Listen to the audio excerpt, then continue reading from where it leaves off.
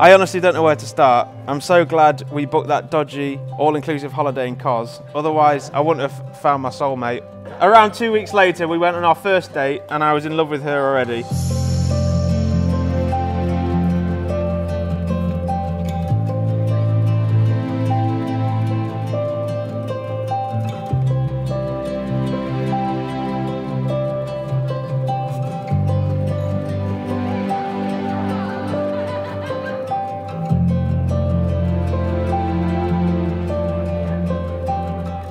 The things I love about you are endless, but here's a small list of why I do. You're so kind, you don't give a shit what anyone thinks.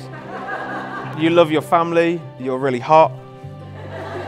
You look after everyone, and everyone who meets you falls in love with you.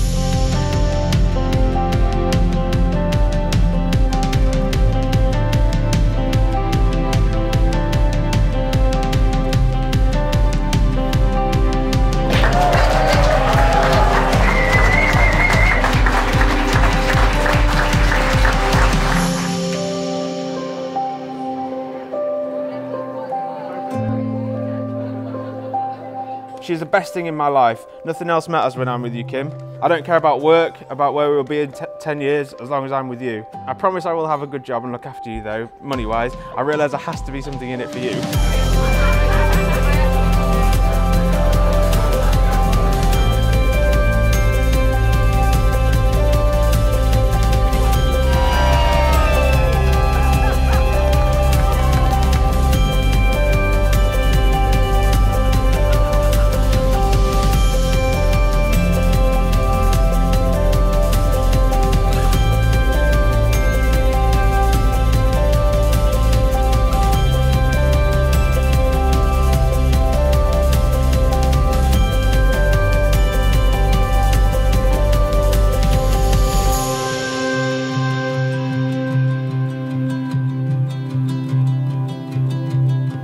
I cannot imagine life without you, Kim. I'm so happy standing here today knowing that, that we're going to spend the rest of our lives together. You are my absolute rock. You're the most amazing girl I've ever met, and you make me so happy.